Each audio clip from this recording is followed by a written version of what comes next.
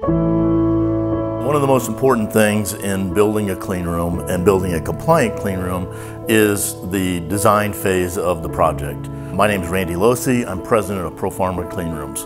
After the initial site visit, we then start the actual design of the room. In most cases, we're going to end up with USP 797 compliant ante-room, a USP 797 compliant positive buffer, as well as a 800 compliant negative buffer. All three of those rooms are going to be ISO 7 rated. Start with our ante-room. It's going to have 30 air changes per hour.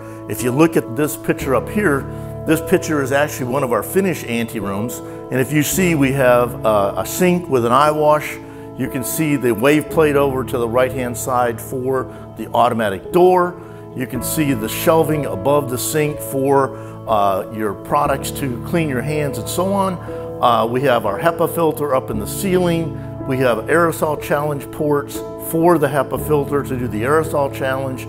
If you look over in the corner here, we have a low wall return, which is next to our refrigerator. Again, that's all part of making the room USP compliant. We then go back and we start into the actual buffer rooms themselves. So in this particular case, we'll talk the 797. We're gonna do our positive buffer, which again is gonna be an ISO 7 rated space.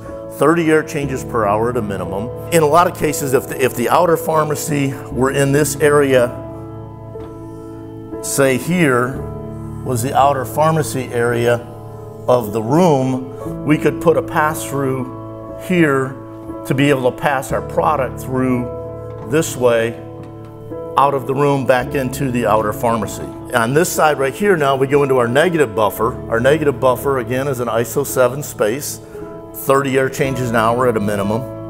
And again, with the negative buffer, you're gonna have to doff, you're gonna have to get take your PPE off when you get out of this room. So again, we've got an auto door going in here, but we're also gonna have a line of demarcation that we have to take our gowns off to, to come out of the room.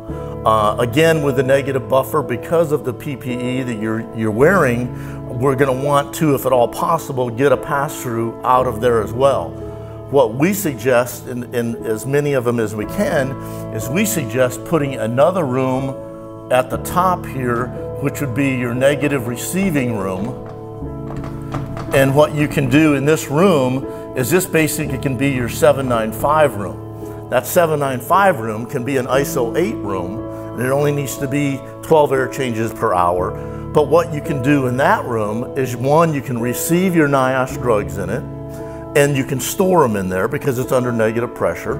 And you can also you can repack in that room. So if you have NIOSH drugs that are a powder generating uh, tablet, uh, you can repackage that in that 795 room.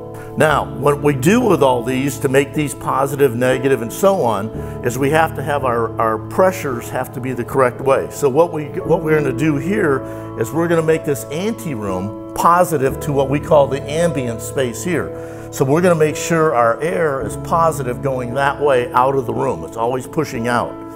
The positive buffer is gonna be positive to the ante-room. So again, our air is gonna be pushing out like so.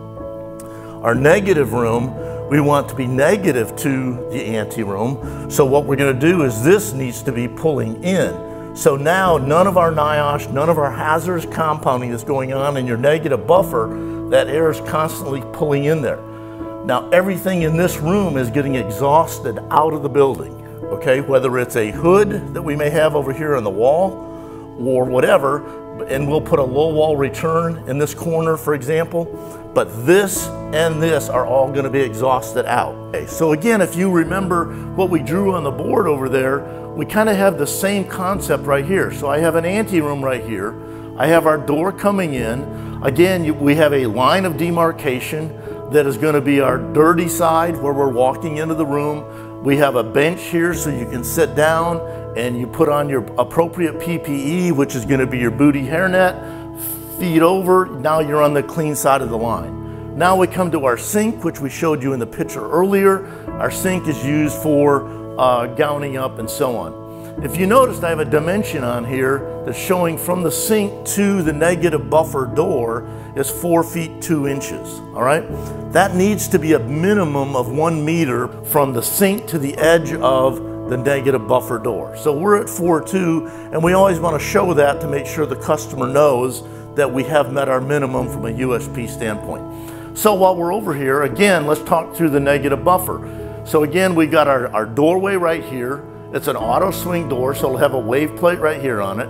Again, we walk into our negative buffer. As I showed, had, had shown you previously on our drawing, we have a line of demarcation up here which will be used to come out of our negative buffer to take off, to doff and get rid of your PPE that you had on in your negative buffer. With the six foot biological safety cabinet or a four foot biological safety cabinet, whatever size cabinet you happen to have, you have to be able to clean around that. So if you notice, we position that hood 12 inches off the wall that gives you the ability to clean all the way around the hood because you can't move that hood because it's hooked to an exhaust that's exhausted to the outside of the building.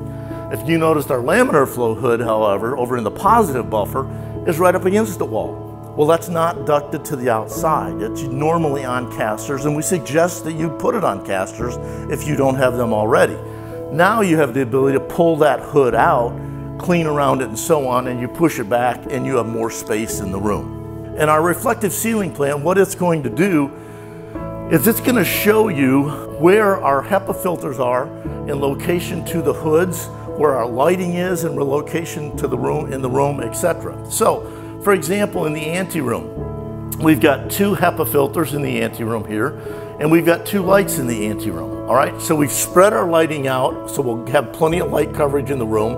And we've got HEPAs coming down in both sides of the room, and then it's pulling back here, again, away from where our door was drawn over here. So it's pulling all that air back out. Now what we're gonna do is our next drawing that we're gonna do in the design phase is really more for the engineers. And that is to get us to what we call our air balance drawing. Pretty much looks like the reflective ceiling plan that we were showing earlier, except now we're just dealing with the HEPA filters. And what we want to do is provide you, the mechanical engineer, with the volume of air we need per room, the amount of exhaust we need per room, the amount of return air we need per room to get the air exchanges we need for each particular room and then the overall space. So in the ante room, for example, we have two HEPA filters here. We're showing, to get this ISO 7 room, we're showing two, two 2x4 HEPA filters at 270 CFM of air each. So it's a total of 540 CFM of air needed of supply to make that room compliant. Now we go over to the negative buffer, all right? And as I mentioned earlier, you notice same size room, but we've got three HEPAs in there. Well, here what happens is, is we got to exhaust so much air, you've got to turn around and supply enough to be able to pull that air out. So here we have three HEPA filters. We're showing these three HEPA, HEPA filters at 300 CFM each.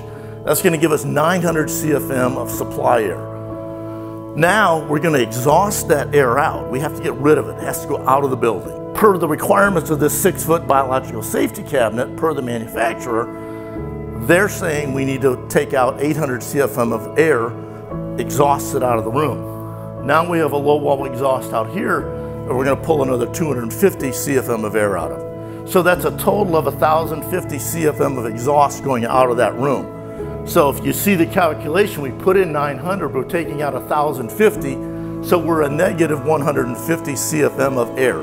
So again, we're constantly pulling air into that room, which is what we need to do, and then all that air is getting exhausted out of the building. So again, if we go from here, you can see it's, this is not just throwing up a box and throwing some air in it. Again, if we go back to our very beginning where we started with all this, it's how does it lay out? How does it work for you as a customer? How does it flow? And so on. We say at the end of the day, the architect goes home, the mechanical engineer goes home, the contractor goes home, and we as Pro ProPharma go home. But you as the end user, this pharmacy is there for you to function out of, and it has to be compliant, whether it's Board of Pharmacy, whether it's Joint Commission, this is a compliant facility for you to make work.